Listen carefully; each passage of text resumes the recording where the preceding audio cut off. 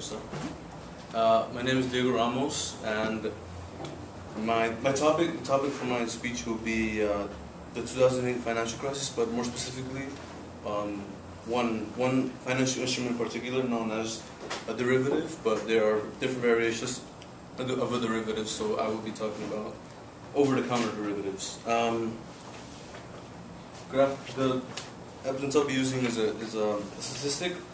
Um, this graph comes from Wikipedia, but the, the numbers themselves come from the United States Census Bureau.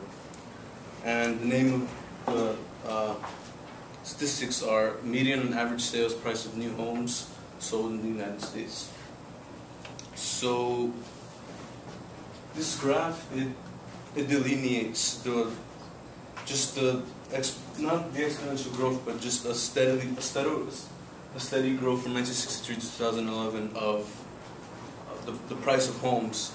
And if you look at 1965, you see that the price is at 50,000. This graph isn't adjusted for inflation, but if you do, $50,000 in 1963 is $176,000. And if you look at 2007, which is around the time the financial collapse began, um, the price is 300,000, and that's almost double what the house is worth 30 years ago in 1967 compared to 2007. And this graph it shows the effect of derivatives and just how how much they affected the price of homes because the, the price of property goes up obviously um, but not to the extent that it did uh, over the course of 30 years. Thank you.